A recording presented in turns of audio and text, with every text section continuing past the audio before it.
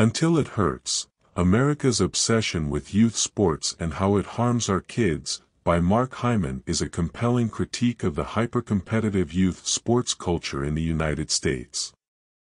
Through a thorough examination of various aspects of this phenomenon, Hyman argues that the relentless pursuit of athletic excellence in children can have detrimental consequences on their physical, emotional, and psychological well-being. Hyman starts by setting the stage, describing the intense world of youth sports where children as young as six are pushed to excel in various sports. He presents this culture as a reflection of society's obsession with youth and success. In this highly competitive environment, parents often become overly invested in their children's athletic endeavors, with the hope of securing scholarships or even professional careers. Hyman argues that this fixation on success at a young age leads to harmful outcomes, both for the kids and their families. One of the key points Hyman emphasizes is the physical toll that youth sports can take on children. He highlights the rise in injuries among young athletes due to excessive training and specialization. Children are pushed to play a single sport year-round, leading to overuse injuries and burnout. Hyman's argument is supported by alarming statistics and real-life stories of young athletes suffering from stress fractures, torn ligaments, and other injuries that can have lifelong consequences.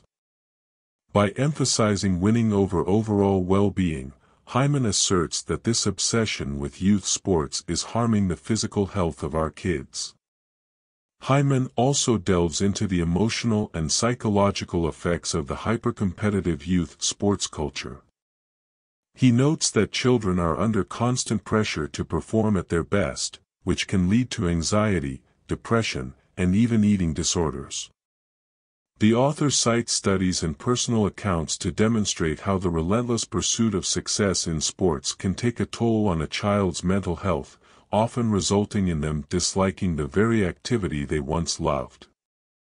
This aspect of his argument underscores how the obsession with youth sports can harm the emotional and psychological development of children. Furthermore, Hyman discusses the financial burden placed on families. He highlights the exorbitant costs associated with competitive youth sports, from expensive equipment to travel expenses for tournaments. Parents are often expected to invest significant time and money into their child's athletic pursuits, which can strain family relationships and financial stability. This financial burden can exacerbate the pressure on children to succeed, creating a toxic cycle of expectations and sacrifices.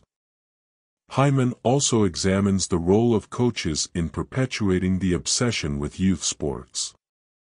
He argues that many coaches prioritize winning over the well-being of their young athletes.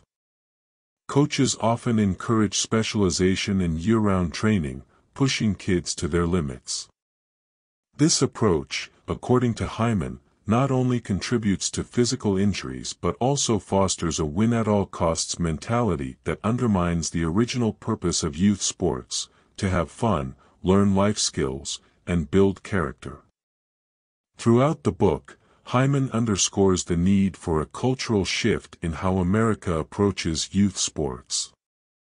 He advocates for a return to a more balanced and child-centered approach where the emphasis is on the development of physical literacy, sportsmanship, and overall well-being.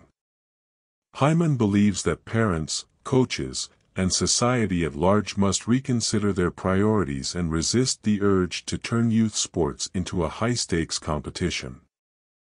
In conclusion, Until It Hurts, America's Obsession with Youth Sports and How It Harms Our Kids, by Mark Hyman presents a compelling argument against the hyper-competitive youth sports culture in the United States. Through a combination of statistics, personal stories, and expert opinions, Hyman convincingly illustrates how this obsession is harming the physical, emotional, and psychological well-being of our children. He calls for a reevaluation of priorities and a return to a more balanced and child-centered approach to youth sports, emphasizing the importance of physical health, mental well-being, and character development over the relentless pursuit of success. The book serves as a thought-provoking critique of a pervasive aspect of American culture and prompts readers to consider the long-term consequences of our current youth sports obsession.